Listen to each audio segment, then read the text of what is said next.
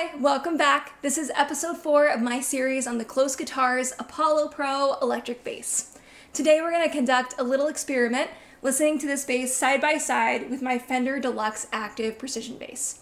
Now the goal here is to show what this bass can add to the conversation because if you're curious about a KLOS Guitars Apollo Pro or Apollo bass or carbon fiber, chances are you probably own a more traditional style bass already.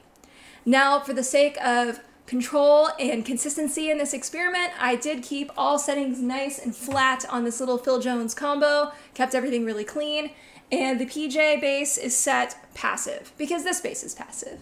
Now, without further ado, let's have a listen.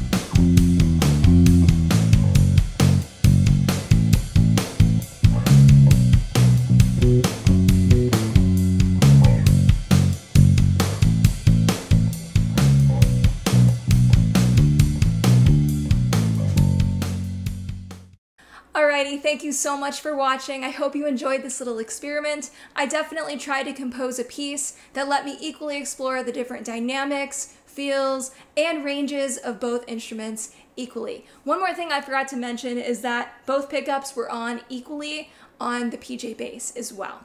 Now, when we look at the sound of the Apollo Pro, I found that it was very modern, biting, more aggressive because that carbon fiber neck vibrates, but you still got that classic warmth and low end underscoring it coming from the wooden body and the passive electronics, making it a really modified, more modern, yet still vintage version of something like this, a more classic bass, where with the PJ, we heard more of that woody warmth thickness kind of thing. So to me, the Apollo Pro represents how you can take a classic bass style and really improve upon it and take it a lot further.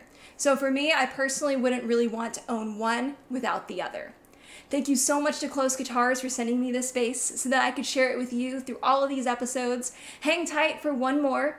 And if you wanted to hear the bass in a more comprehensive demo setting, I also have other videos on my channel, so be sure to check out those episodes. In the meantime, if you're curious about KLOS, I have some links below. And also don't forget to drop me some comments. What are you thinking about these two basses? I would love to know. And like and subscribe. And I'll see you in the next one. Bye-bye.